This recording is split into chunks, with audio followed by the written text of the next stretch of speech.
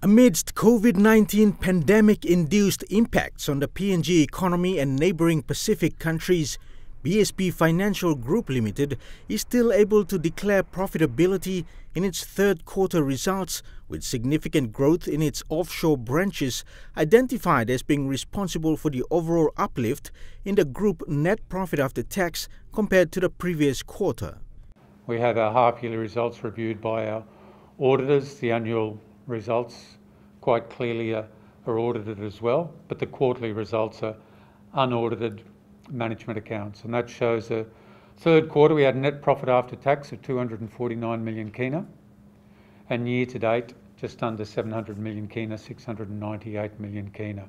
Cost to income ratio, both for the for the quarter and year to date, quite good, around about that 37, 38%, which is a very low cost to income ratio for banks.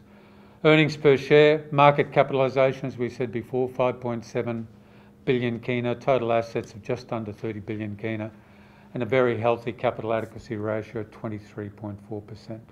CEO Fleming highlighted that PNG's retail sector has been hard hit by the pandemic, given that the country does not have support mechanisms that other countries have. Is certainly being impacted by restrictions which do get introduced to legitimately reduce the transmission of, of COVID.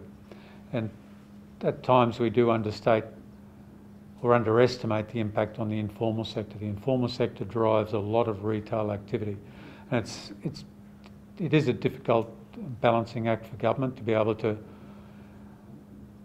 protect the lives of individuals because at its heart COVID really is a, it's a health issue. So protecting the lives of individuals is really important. But at the same time, we don't have the support mechanisms that other countries have from an economic perspective. Whilst Mr. Fleming predicts a positive outlook for 2022, with Porgera Mine expected to reopen shortly and other major resource projects given the go ahead, he also says the COVID 19 pandemic remains uncertain to cope with in the immediate future. So we do expect to see some downturn during this third wave of COVID. It's one of the reasons why everyone should be strongly encouraged to get vaccinated. And just because we emerge from the third wave come December and January, shouldn't think that COVID's gone away. Next year does remain somewhat more positive. There's, the sentiments are there. You've got government and Barrick agreeing that Porgera will be open. Just a little bit, dis, um, little bit of dispute as to when that may well be, or formalising exactly when it will be. But Porgera will be open, and that's going to stimulate foreign exchange, stimulate activity in the highlands. Apart from the retail sector being affected greatly, CEO Fleming also pointed out the impact on PNG's property sector as a result of continued international travel restrictions. Property sector, as we know, has, has felt the, the absence of international travellers in PNG, which is another reason why COVID does have to be brought under control.